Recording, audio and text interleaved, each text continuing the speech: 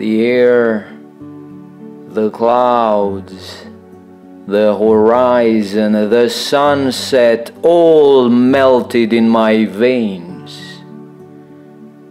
Locked in quarantine, time itself has died in a last long second.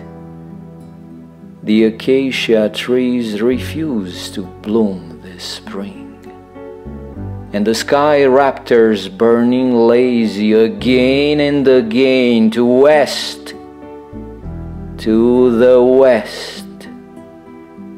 The moon got lost somewhere far, far away in the big dipper, maybe.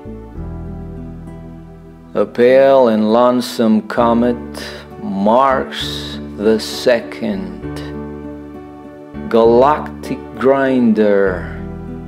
Tick tock, tick tock.